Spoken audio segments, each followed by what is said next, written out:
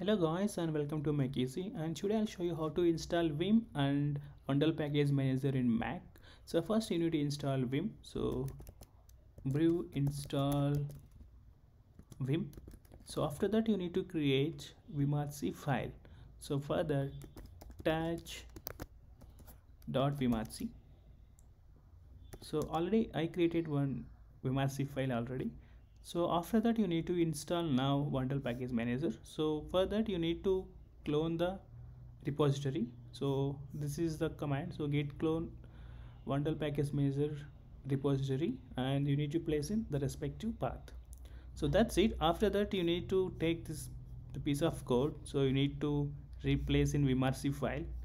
So once you've done that so you need to once you're done after you need to type vim and here you need to install all plugins that you added in vimrc file.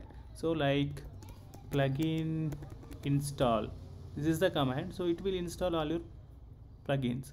You can also add any other plugins and you need to again you need to install all those with the plugin install that's it guys. And thanks for watching. Hope you like the video.